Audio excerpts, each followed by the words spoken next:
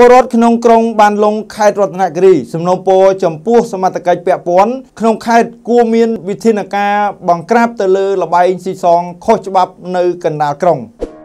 ដាក់លក់ទំនិញតាមរយៈឯផ្សារទំនើបចំណាយតិចចំណេញច្រើនថ្មីនេះមានមតិពលរដ្ឋបានលើកឡើងថាលបែងស៊ីសងខុសច្បាប់ដែលមានទីតាំងនៅជិតស្តាតពហុកីឡដ្ឋាន និងជាអតីតពេទ្យពហុព្យាបាល24ម៉ោងក្នុងក្រុងបានលុងខេត្តរតនគិរីដោយសេរី ប្រភពពីប្រជាពលរដ្ឋបានឲ្យដឹងទៀតថាក្នុងនោះរួមមានលបែងដូចជាបៀនិងយូគីអាប៉ោងមន់ជួលនិងមានលបែងភ្នាល់ប្រភេទអេឡិចត្រូនិកជាច្រើនទៀតផង បញ្ហាខាងលើនោះគឺជាក្តីកង្វល់មួយផ្នែកធំដែលធ្វើឲ្យប៉ះពាល់យ៉ាងធ្ងន់ធ្ងរទៅលើបញ្ហាសន្តិសុខនិងអាចបង្កជាបញ្ហាផ្សេងផ្សេងទៀតដូចជាកើតមាននៅអំពើហិង្សាចោរកម្មផ្សេងផ្សេងលួចឆក់ប្លន់ដែលអាចកើតចេញពីក្រុមអ្នកញៀនលបែងនិងដើម្បីចូលរួមអ នុវត្តគោលការណ៍ភូមិឃុំមានសវត្ថភាពទាំង7ចំណុចរបស់រាជរដ្ឋាភិបាលឲ្យមានប្រសិទ្ធភាពមន្ត្រីស្ថាប័នអង្គភាពពាក់ព័ន្ធគួរតែ មានវិធានការបង្ក្រាបឲ្យខាន់តែបាន ទៅលើទីតាំង